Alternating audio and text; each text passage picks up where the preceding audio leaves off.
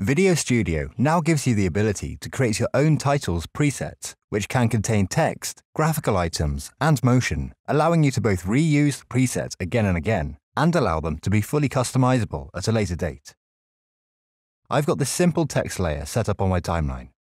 In Video Studio 2019, I can now drag graphics or images onto this text layer to create a combination.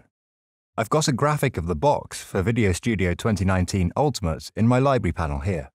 If I drag it onto the text layer, a number now appears in the top right of the text layer, showing that there are two objects stacked here.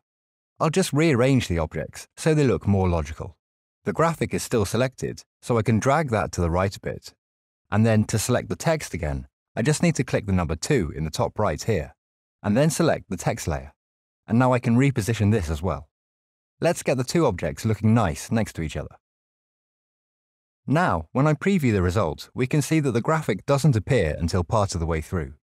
This shows that we can select custom entry points for other objects, or I can choose for it to start at the same time as the text. By hovering the mouse over the left-hand edge of the graphic, I can choose for it to enter earlier in the usual way. We can then save the grouped objects as a template.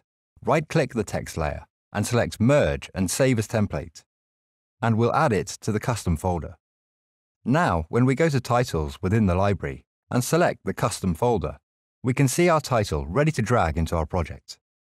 If we click into the template, we can see that everything is still editable.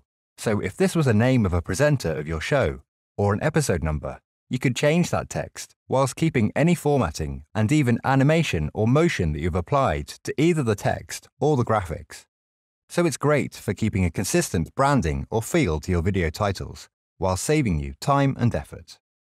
Happy editing!